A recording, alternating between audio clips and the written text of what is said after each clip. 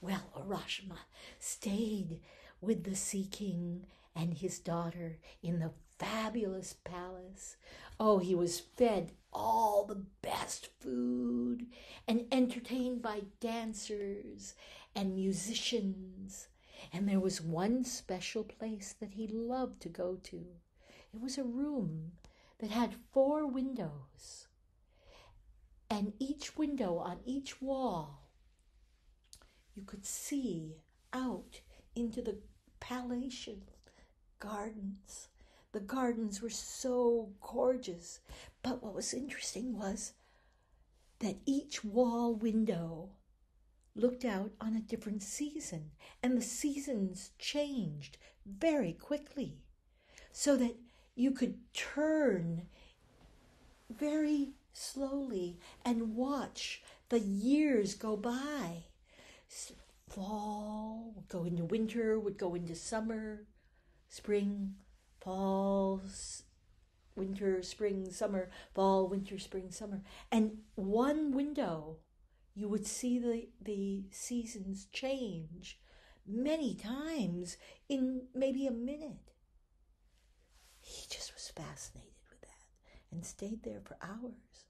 But finally, got very, very homesick because it was a place where you remembered your home and all the seasons that change the cherry blossoms in the spring, the warm water in the summer, and the ice in winter, and the different colors in the fall. He wanted to go back and see it for real. And so he gently asked the princess, You know, princess, I've been here about a week and I love it, but I really want to go home. Let me go home. She was very unhappy that he had asked that. That was not a very good thing to ask because the Sea King's palace is like heaven. It's the best place ever. It's endless joy. Why would anyone want to leave? But he missed his home. And he said, No, I want to go home. Well, the princess allowed him to go home. And she said, I, I will take you back to your home, but let me give you something. And she gave him a box.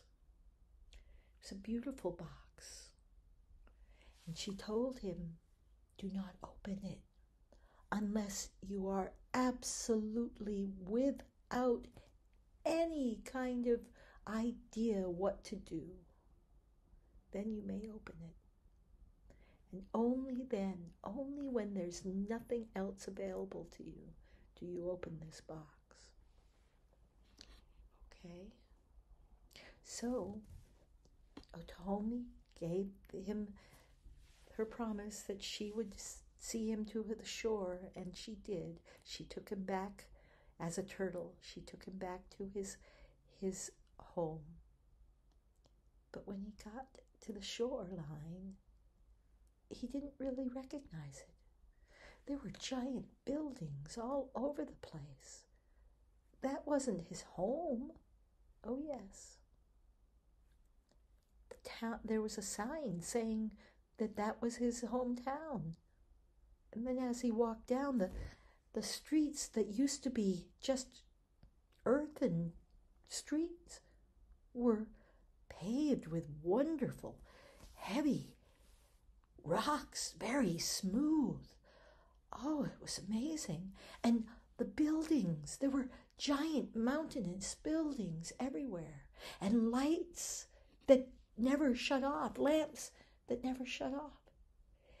He stopped somebody on the way and he said, Excuse me, uh, do you know where Urashima lives? I, I'm looking for my home. I'm Urashima, and I've come back, but I, I don't know where I am. I, this doesn't seem to me to be the same house or the same village. Oh, Urashima, said the stranger. Why, yes, there was a, a, a legend of a, a fisherman that went and drowned in the sea many, many years ago. Oh, hundreds of years ago. That's that's the only Urashima I know.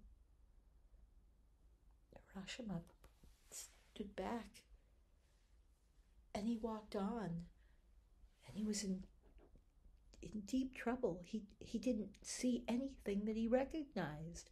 No people, no buildings. Everything seemed so so strange. He he made his way back to the beach, to the ocean. And he wondered how and why he had wanted to leave that wonderful palace. It was so beautiful. He was very depressed. He decided that it was time to open the box because there was nothing else for him in this world. So he opened the box. And out from the box came a puff of smoke. And with the smoke came feathers. And they landed on Urashima and covered him. And he felt his neck grow and his legs grow. And instead of arms, he had giant wings. And he had become a crane. He immediately flew out over the ocean to see if he could find the Sea King's palace. Couldn't find the palace. But the turtle, Atahami, came out and waved one of her fins at him. Hello, Urashima. Urashima was able to fly over her, and they met on a beach on the sand. And he bowed to her, she to him. Yes, my friend, we can be together. You in your world of air and earth, and me in my world of wind and water. But we can never, ever go back to the joys of the Sea King's palace. And so the turtle and the crane continue to meet and dance and enjoy the days they have together, the long days. For the crane and the turtle are two of the longest lived animals on the planet. The end.